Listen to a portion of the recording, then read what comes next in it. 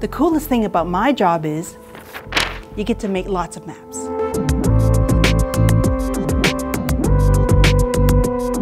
The history of cartography goes way back, and when you think of the first people who want to map their own surroundings, it has really developed through technology to where it is today. Cartography can include all stages of map making, right from collecting information about the Earth, compiling information, putting it together, analyzing the geography, and then finally publishing a map, which is our specialty. We think of three big disciplines within the field. One is GIS, which is the information of an analytical cartography. Another is the design aspect, where you actually understand how to portray symbols to people, the user.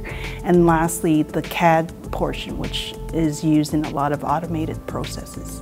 The creativity in cartography is the thing that really uh, appealed to me when I was younger. And as I learned a lot about geography, I understood that if you can be creative in the field and use technology that you enjoy, it really becomes a career choice.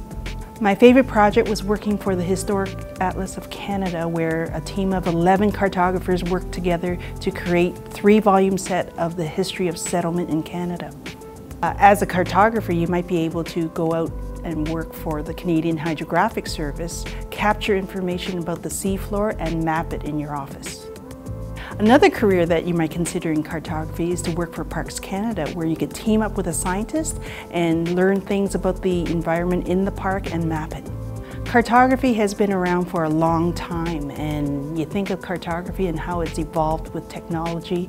The future is really great for this field. If you're really creative and have a personality that likes geography and are interested in computers, this might be the field for you.